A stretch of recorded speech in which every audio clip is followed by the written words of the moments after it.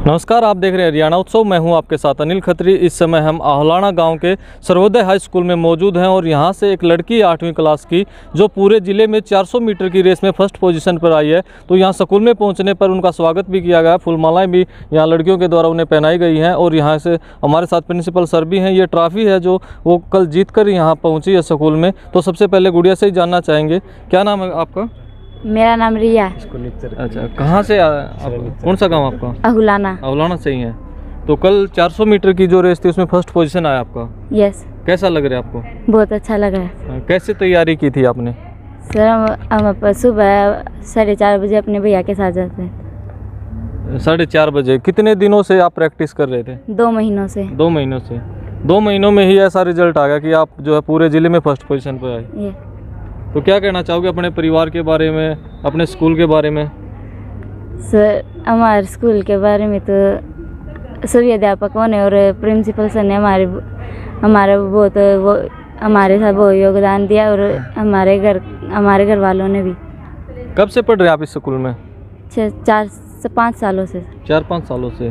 तो आगे क्या आपका लक्ष्य है? अब जैसे फ़र्स्ट पोजीशन आई है ज़िले में आगे क्या लक्ष्य लिया आपने?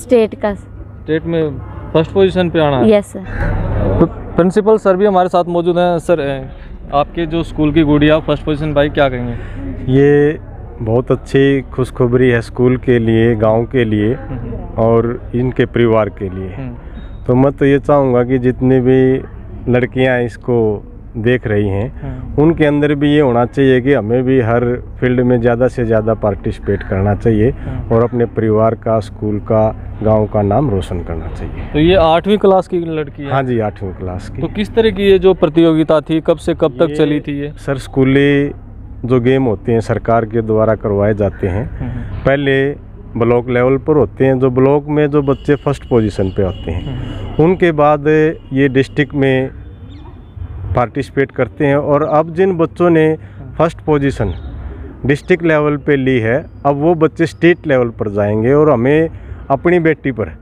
पूरी आशा है कि ये स्टेट में भी पहली पोजीशन लेके आएगी। क्या आपके स्कूल से एक ही लड़की गई थी या और भी बच्चे गए थे वहाँ? हमारे ब्लॉक लेवल पर चार बच्चे रेसलिंग में गए थे। हम्म, हम्म, वो भी ब्लॉक लेवल पर जीत के आए हम्म। लेकिन वो डिस्ट्रिक्ट में सेकंड राउंड में हार गए।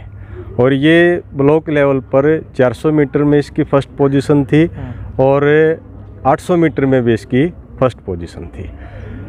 तो दूसरे बच्चों के लिए क्या कहना चाहोगे?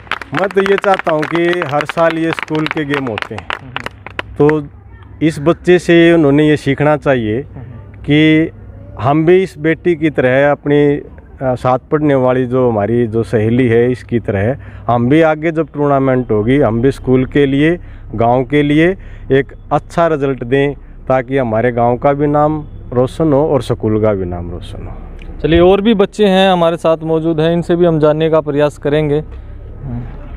क्या नाम है? खुशबू। अच्छा कैसा लग रहा है? बहुत अच्छा लग रहा है मुझे।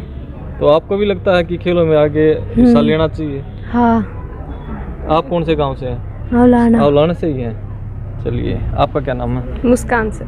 क्या कहेंगे? आपके स्कूल की जो एक लड़की है। सर आज ये हमारे स्कूल की लड़की डिस्ट्रिक्ट में फ़र्स्ट आई है तो हमें बहुत ज़्यादा खुशी हो रही है और हम इससे मोटिवेट भी हो रहे हैं कि हमें भी ऐसा करना चाहिए। चलिए। इस तरीके से। तो ये आपने देखी तस्वीरें जो हैं अवलाना गाँव के सर्वोदय हाई स्कूल की।